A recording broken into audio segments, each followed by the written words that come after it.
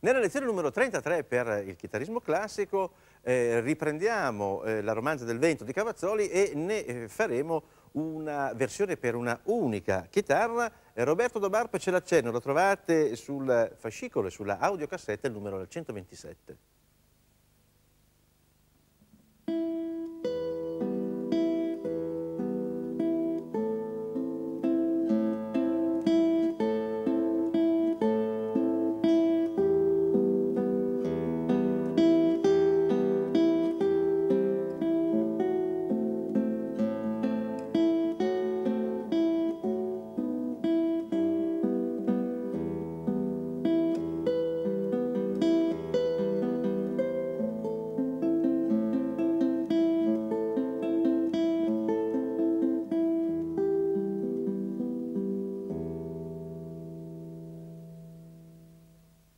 Nella lezione invece numero eh, 34, l'esercizio numero 128, abbiamo una scala di Si bemolle. Guardiamo la sua diteggiatura.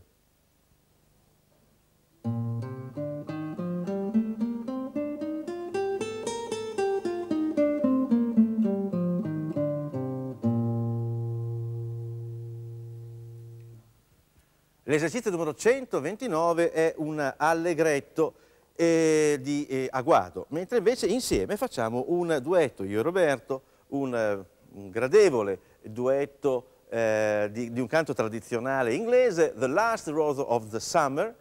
Sentiamo appunto questa melodia che la prima chitarra ovviamente realizzerà in quinta posizione. Sul fascicolo lo trovate eh, come numero 130.